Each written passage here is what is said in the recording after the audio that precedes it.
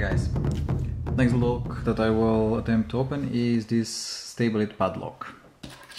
And for a Stabilit, it's a not bad lock. Really good finishing. The steel is quite shiny. Brand new lock. It's a 5 pin lock.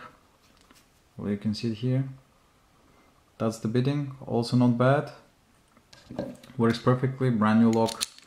And it has a lot of spring tension like most of the discus locks when you try to rotate them. So this is depriving me a lot of some, some of the feel and also because of the small keyway and the pins that are so close to one another it's also doing my head so I picked it once when I bought it then I just left it in the bin and I said uh, I decided to make a video of it now and suddenly I had really hard time picking it.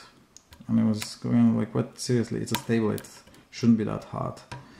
So it was bugging me for quite a while. Let's see if we can make it happen on video because I did manage to open it a few times off camera. But off camera doesn't count of course. So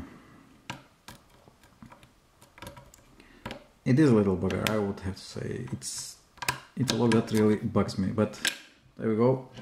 Finally when I picked it a few times it's manageable.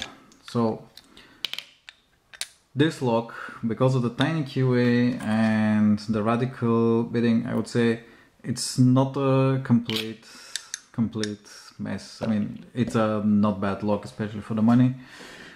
Yeah you can lock some stuff with it. Okay guys Thanks for watching, keep it legal and get this lock. I mean, it's worth the money and you can get some experience with discus locks. Cheers guys, thanks.